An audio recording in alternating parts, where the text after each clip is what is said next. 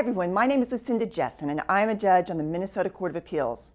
I'm up for election this year and I ask for your vote on November 6th. It is such a privilege to serve as a judge in the Court of Appeals. Everyone who is unhappy with the decision of a district judge or jury, and sometimes governmental entities like cities and counties and state agencies, they have the right to appeal to our court. So we see about everything, criminal cases, family law, child protection, contract disputes, will contest, about every type of civil case. There are around 2,000 filings with our court of 19 judges every year, and 95% of our decisions are finals. So our decisions touch a lot of lives, which is why it is such a privilege to serve for you on this court and why I ask you to vote for me, Judge Jesson. And I ask that for three reasons. First, I have the breadth of legal experience that you need to face the wide variety of cases we have on the court. As a lawyer, I handle cases for individual people, businesses, governments, and law firms large and small. I can't say I've seen it all, but I've come pretty close. And that experience as a lawyer served me well as a judge, where I've written over 150 judicial opinions over the last two and a half years. And if you want to see those decisions for yourself, I made it easy.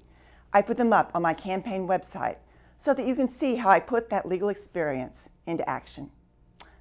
Second, I have the necessary dedication to the people of Minnesota.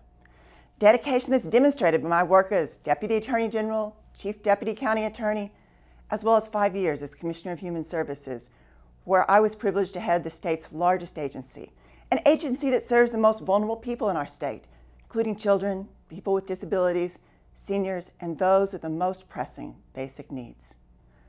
Through my work, I know citizens from every walk of life, from every part of our state.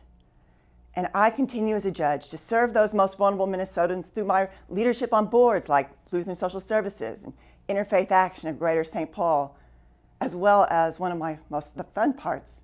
I personally tutor a struggling second grader every week of school.